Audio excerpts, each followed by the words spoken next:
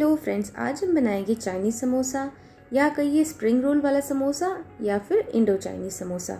आप इसे क्या नाम देगी, मुझे कमेंट करके ज़रूर बताइएगा। चलिए देखते हैं इसमें हमने क्या क्या यूज़ किया है।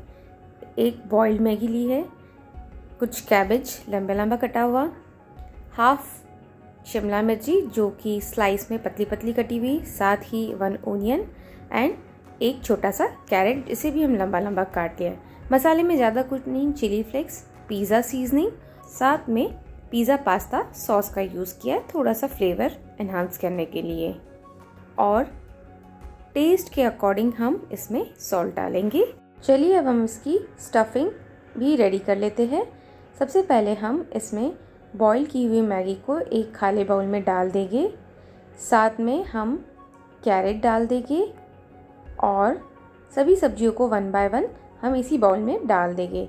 सब्जियों को कम या ज़्यादा रेशो आप अपनी चॉइस के अकॉर्डिंग भी कर सकते हैं और एडिशनल वेजीज को भी आप डाल सकते हैं अपनी चॉइस के अकॉर्डिंग आप मैगी की जगह नूडल्स का भी यूज़ कर सकते हैं। अब हम अपने सभी मसाले भी इसी बाउल में डाल देंगे और सभी को अच्छे से मिक्स कर लेंगे।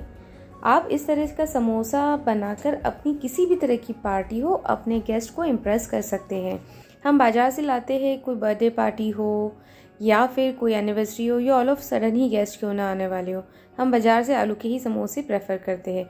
बट इस तरह के समोसे को आप बना के फ्रीजर में स्टोर करके भी रख सकते हैं कुछ दिनों तक के लिए। और जब गेस्ट आए तो गर्मा गर्म उसे फ्राई करके सर्व करें और सभी गेस्ट को इम्प्रेस कर दीजिए। और बच्चों को तो आई गैस बहुत ही ज़्यादा पसंद आएगा। मेरी फैमिली में तो ये बहुत ही ज़्यादा सबको पसंद है। चलिए हम अब देख लेते हैं इसकी पैकिंग किस तरह से की है। इस तरह की रोटियाँ आप पहले से बना के रख सकते हैं। मैंने ये रोटियाँ और कॉर्नस्लरी को किस तरह से बनाए हैं, इसे देखने के लिए आप मेरे प्रीवियस वीडियो में इसे चेक कर सकते हैं। इसके लिंक मैं आपको डिस्क्रिप्शन बॉक्स में दे दूँगी। यदि आपको डिस्क्रिप्शन बॉक्स में या इसे सर्च करने में प्रॉब्लम होती है तो आप मुझे कमेंट कीजिए, मैं आपको कमेंट बॉक्स में इसके लिंक भी शेयर कर दूँगी। ये देखिए, सभी तरफ़ हमें कॉर्नस्लरी को लगा देना है, ताकि हमारी पैकिंग अच्छी तरह से हो। पैक सही तरह से होगा तो फ्राइंग में उसका मसाला बाहर नहीं आएगा। तभी समोसों को हम इसी तरह से पैक कर लेंगे और फिर उसके बाद हम चाहे तो स्टोर कर सकते हैं या फिर इसे गर्मा गर्म फ्राई करके हम सभी को सर्व कर सकते हैं। चलिए आप ट्राई कीजिए और अपने सभी फ्रेंड्स, गेस्ट, रिलेटिव को इम्प्रेस कीजिएगा।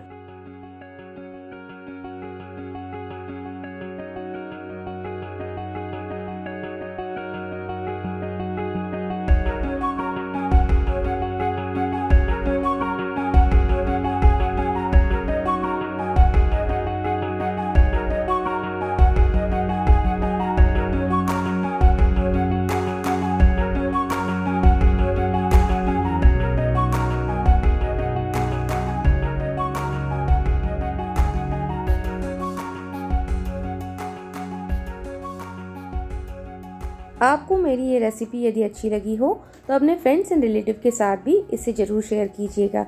साथ ही आप यदि मेरे channel C two D two पर नए हैं तो चैनल को सब्सक्राइब करना मत भूलिएगा।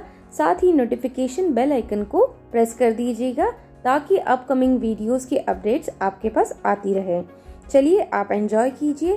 Thanks for watching enjoy your day bye bye have a nice and beautiful day